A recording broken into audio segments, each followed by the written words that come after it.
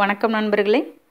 அண்மை காலமாக ஊடகங்களில் பார்த்திங்கன்னா நீலகிரி மாவட்டம் கூடலூர் வட்டம் மசனகுடி அப்படிங்கிற இடத்துல தேவன் எஸ்டேட் அப்படிங்கிற ஒரு இடம் இருக்குது அங்கே புலி நடமாட்டம் அதிகமாக இருக்கிறதாகவும் ஐம்பதுக்கும் மேற்பட்ட கால்நடைகளை அது வேட்டையாடி கொண்டிருந்த பொழுதிருந்து அந்த பகுதி மக்கள் வனத்துறையினருக்கு வேண்டுகோள் வச்சிட்ருக்காங்க அந்த புலியை பிடிக்கிறதுக்காக.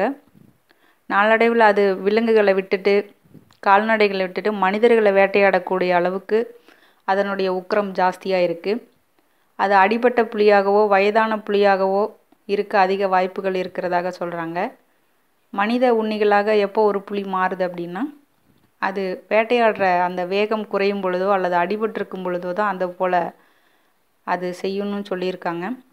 மூன்று தனிப்படைகள் அமைத்து வனத்துறையினர் இப்போ தேடிட்டு வந்துட்டுருக்காங்க வேட்டை நாய்களும் கும்கி யானைகளும் இந்த பணியில் ஈடுபடுத்தப்பட்டிருக்கு.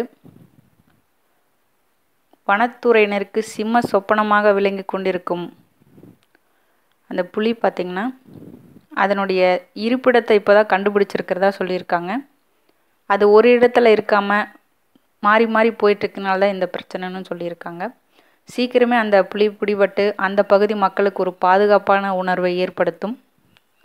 நன்றி நண்பர்களே.